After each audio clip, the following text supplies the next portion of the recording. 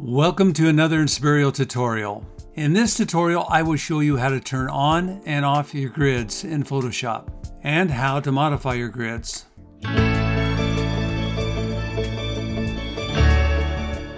We are now in Photoshop and have a blank canvas. Let's turn on the grid. What we do is we go up to View, click on that, come on down to Show, and go over and go down to Grid. Click on that, and now our grid is displayed.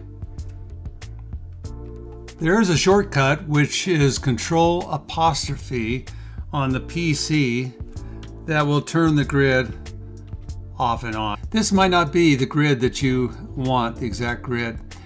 So to change that, we go up to Edit, Preferences. We have a choice between General or we can go right down to Guides and Grids. We're going to go into General and then go over to Guides and Grids. And here we see our grid information. We're black, solid line right now. We could go with a dotted line.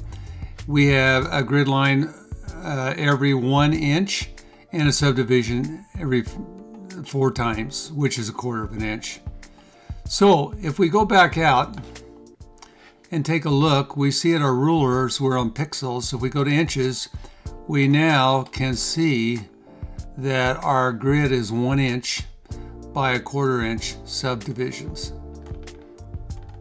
Now let's go and change it to pixels. Say we had a digital document Going to Pixels, we go up to Edit, Preferences, General, and now we're going to change it to uh, pixels and we're going to go 72 pixels and we're going to divide it by 2 and now we go up and now we have our grid of 72 pixels broken in half with subdivisions.